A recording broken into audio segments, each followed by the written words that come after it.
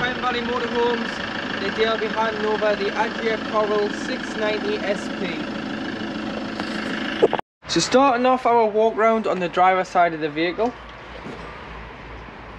You've got your lock and habitation door key which is the Adria key.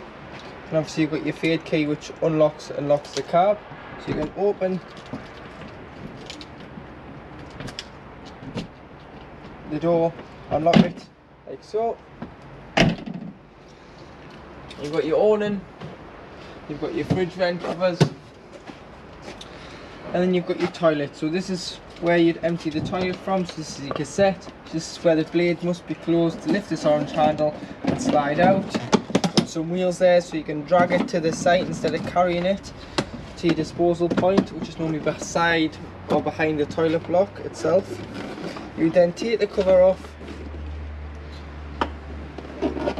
press this button and empty. Once you've emptied, you'd put some water in and just give it that little rinse, empty again, and then if you're using the liquid form of chemical, you'd fill this up with chemical and put it in here. Or if you're using the tablet form, you'd put a pint of fresh water in and drop a tablet into the cassette. You can either put one direct into the box or you can drop one through the toilet. And then that just slides away back in there and locates and then you can lock this. So, moving further down the vehicle, you've got your mains connectivity point here. So, you get your hook-up lead, lift the flap, always hook the vehicle up first, and then hook the other end up to your site. And obviously unhook the site first, and then unhook the vehicle. But when unhooking the vehicle, you would press this blue lever on the left hand side down to unhook the hook-up lead.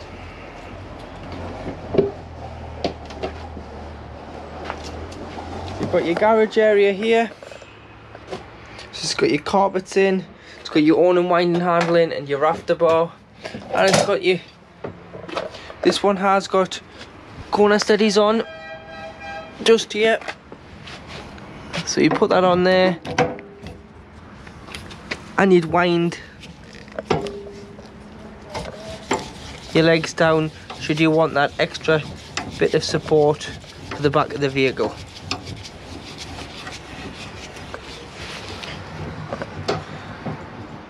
Walking around to the back of the vehicle you've got your parking sensors on the bottom here.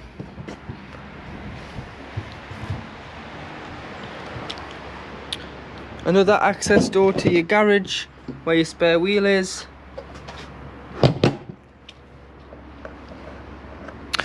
Vent for your heater.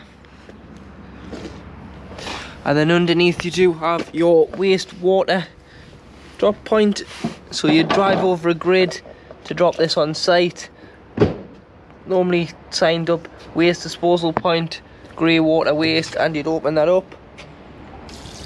And there you go that's just the water we've tested the vehicle with. And then here LPG liquid petroleum gas this is your gas locker. Put some bottles on there to show you how it works. And what you do is you'd always make sure that the bottles are securely strapped in like this when they're on in situ on the vehicle. You turn the bottle on and off from the top and you use a adjustable wrench or gas spanner to left hand th thread for the pigtail opposites with the bean gas and then you'd nip it up. Always turn your bottles off when you're on the road though. And then you've got a little button here, which is your reset button. So you press, you turn the bottle on, press that bot button in, it'll prime the system with gas and open the crash valve. And again, locks with the Adria key.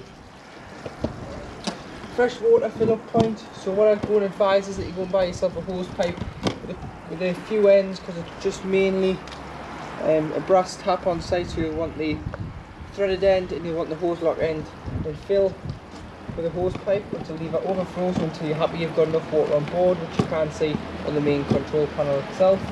If you're travelling to a site you travel tend to travel with a maximum of 20 litres as it's better on fuel and gives you a better payload for your, your items on board but if you're going wild camping you will have to take a full tank of diesel with you.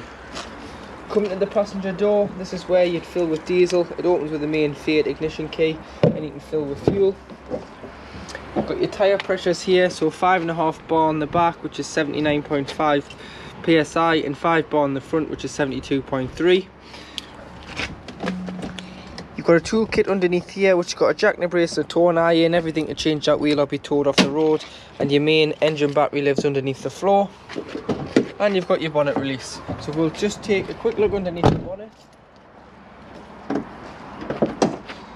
So I'll point out the various points. So this is your positive for giving or receiving a jump start here, your contact, and your negative is just this little bolt here near the passenger headlight. You've got your weight plate here which you'd go off, so it's three and a half ton gross vehicle weight. If you put a tow bar on and tow, you can tow up to five and a half ton train weight. You've got your paint code here for the Grigio aluminium, which is code 611 and then you've got your various liquids. So you've got your screen wash power steering fluid brake fluid coolant oil filler and your oil dipstick just there. So stepping inside the vehicle this is your main 12 volt control panel. So to turn the 12 volt on you would just simply click here and then opposite it's like on a rocker switch you can turn your pump on which then allows you to use your taps, toilet and shower within the vehicle. But only put your pump on should you have sufficient water in the tank, otherwise there is a chance that you could burn the motor and the pump out. Coming down here, this is your charge of your batteries. So you've got the battery at the back of the van, battery at the front, leisure and engine. So you go to, to leisure and then it'll light up and tell you. And it also indicates where on main took up here. And then you've got your engine battery. And then here is your water. So you've got fresh water. And then you've got your your waste water which is nothing in it. So now in the kitchen area so you've got three gas rings once you've had the gas rings on allow it to cool before you put the glass lid down otherwise there is a risk that you could shatter the glass.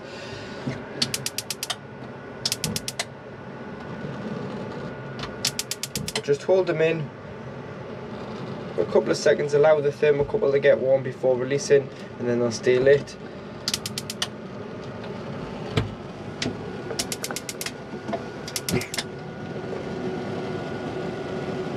Like so next week you've got your tap so this just proves that your water's working. And that is getting the temperature there on the hot and the, and the cold. And you've got a little bin in here which you can remove it just sits there and is hidden by the cover. Above the hob you do have an extractor fan. So you've got your your light there and your fan which is designed for when using but you can also open the window when you've got the using the hob as well. All your cupboards in here so if you push the button and allow it to pop out and then lift the cupboard up you've got storage up here storage and then you've got a three pin plug on 240 volt when hooked up. This will work. Cutlery drawer.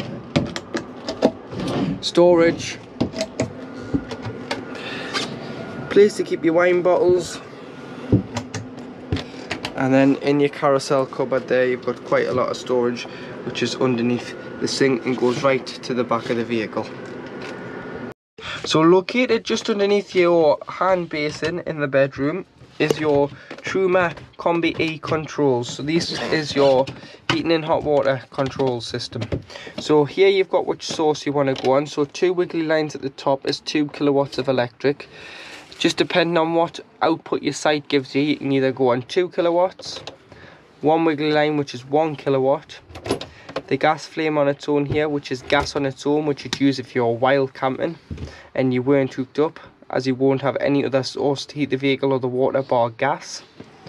You've got gas in one kilowatt and gas in two.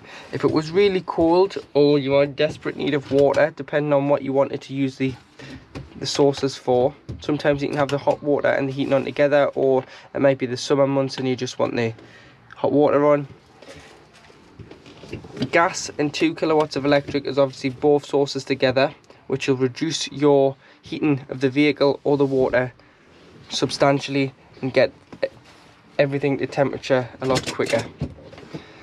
I would always, if you are heating the vehicle like this, I would always start it with, in the winter months, with gas and electric together for about 20 minutes, get it at temperature, and then if you were on a site, you would then want to think about not wasting your gas, switch your gas off and go back to 2 kilowatts of electric. And below, you've got off in the middle, you've got 60 degrees of heating your water alone, 40 degrees of heating your water alone. So 60 degrees is normally um, dishes water, 40 normally showering water. You've got no water in, you've got the gas flame, which is heating on its own, which is just heating the vehicle. And then you've got heating and 60 degrees of heating your water. And then 1 to 5 is just your thermostat. So 5 is about 30 degrees. And then obviously 3 to 2.5 is about 15. I wondering if this little flap in the other side of the bed is where your gas taps are. So these red taps are gas isolation taps. Any problems with gas, turn it off at the bottle, but you can isolate either the hob, the cooker, the fridge and the hot water boiler system. But these are mainly for when the vehicle is habitation serviced. And across from the kitchen area, you've got your Smev oven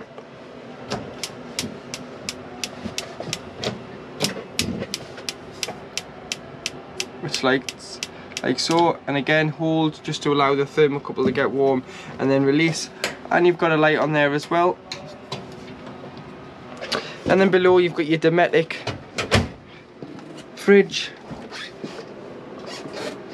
with freezer box. So once you've finished using this for the season, if you do take your remaining shopping items out of here, so any um, leftover foods, take out, clean the freezer box and the fridge. And the last thing you want to do is shut the door. So what you need to do is, these are your travel catches, just put your travel catch in the lock position and just rest it up against these little tabs here, which is normally designed to lock in like so but if you just lock it and rest it in and of course you would obviously lock the fridge when you're traveling if you've got shopping in to stop it from opening when driving. And then coming on to the controls so you've got off here on gas which is for wild camping and it'll self-ignite. Mains power which is the plug which is 240 volt. Battery which is designed to keep this shopping at, at the temperature it was when departing so it's a feed from the engine alternator battery not from the leisure battery. So here you would if you're lucky enough to keep this at home you'd hook the vehicle up a day or two before put your shopping in the night before allow it all to chill and then you put on the battery. But this fridge does have the benefit of being automatic and automatic um, basically reads all the sources sees what's available at what time and it'll switch on the best source. So if you were hooked up and then you want to unhook but your gas was to be open it would switch over to gas. But then if you want to start the engine it would go on to the 12 volt setting. But you can manually do it if you want but you'd use gas. When you're wild camping and weren't hooked up you'd use hookup on more sites and obviously you'd use battery when you were traveling to keep your shopping fresh. And then this little button here is designed to stop the freezer door from sticking shut on the rubber when the freezer box is on at full temperature. And across you've got your temperature. So you might want it on max in the summer but then you might just want to drop it down ever so slightly in the winter months as the back of the fridge is cold from the side of the vehicle anyway so it would get it working the temperature like that as well. And then with the bed you've got the headboard that lifts you up so if you want to use it as a bit of a day bed during the day you can do so you just pull the mattress forward pull this down you will then have to just put your hand here and lift it and allow it to fold back into the nighttime position of lying flat. But if you wanted to lie up during the night, you can get yourself comfy as it's got different settings. And that's off both sides, so it's not just one, it's two separate recliners. Your reading lights in the bedroom, I've got a little switch on the side there so you can have them on individually or both together. But these are meant for reading lights, so if one of you wanted to have a light on and one of you didn't, they've got individual switches on. The roof light above the bed is on a winding handle here, so when the red is shown, it means it's locked securely. You just wind it, and it will open and close. But do make sure all your windows and skylights are closed securely before you do start driving. And then you do have a blackout blind and a fly screen. And then this is how to convert the side facing bench seat into a travelling seat. So what you do is, this is your backrest and that's your base. But what you do need to do is this frame lifts out so you'd unclip this which is just a safety feature. Lift it out and then this will clip into here when you want to be on site. That's if you want to make this seat as a fifth belt. And then you just put the the two catches at the back off of these straps just to stop this cushion from falling off when travelling. So they just clip onto there like so that sits on there and then the backrest goes just under there. But located underneath this seat through this hatch here is your trip switches at the back your fuse board which is um, on that blue block there so they're all your 12 volt fuses so I would go and buy some spares for your lights, pumps and various items on the vehicle and then you've got your main leisure battery here. So located underneath the two fixed travelling seats is your freshwater tank and in the corner here you'll see that little white cap it's a lever which you'd pull and that's how you drain off your fresh water. So so whether you've taken on contaminated water whether you're winterizing the vehicle or whether you're just not using it and you don't want the water to go stagnant you just simply pull that lever up and it will drain directly underneath the chassis. But there is access in there so you can clean it once a season should you wish with the various cleaners that are on the market for your fresh water tank Behind the passenger seat, underneath the table, is a heater here for your back passengers.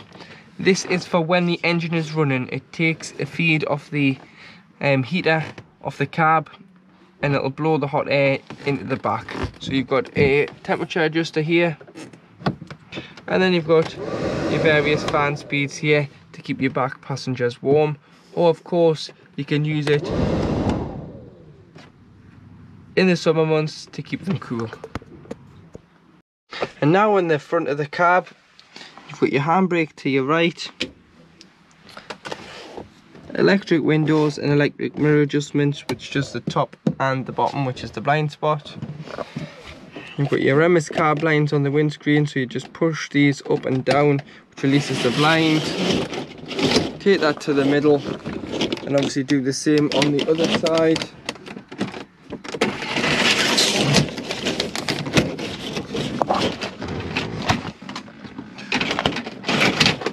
Then they just clip together. You might want to put a elastic band or hair bubble or something around here if it's going to be a windy night as they're just magnets. So should the van start moving in the wind, they might tend to ping open.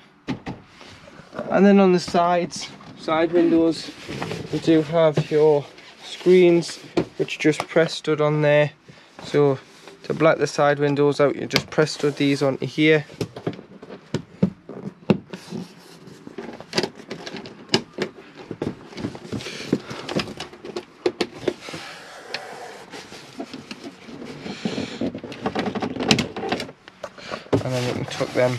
behind the door there. And that'll block the passenger and driver's window out. Coming back to the controls so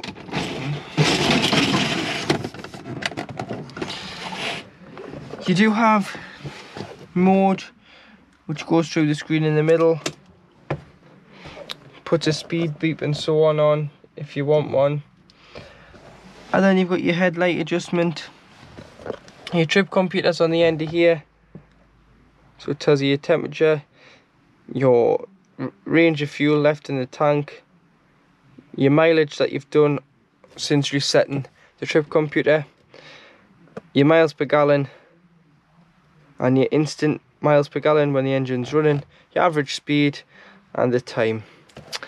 You've got lights, side lights and main lights there, indicators. Six speed manual gearbox with lift into reverse.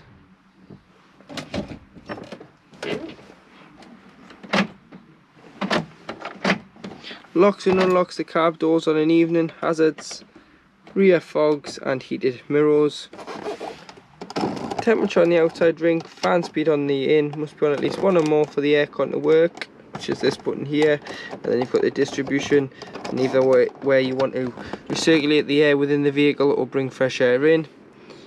Us 12 volt points there and a cigarette lighter and a lockable glove box.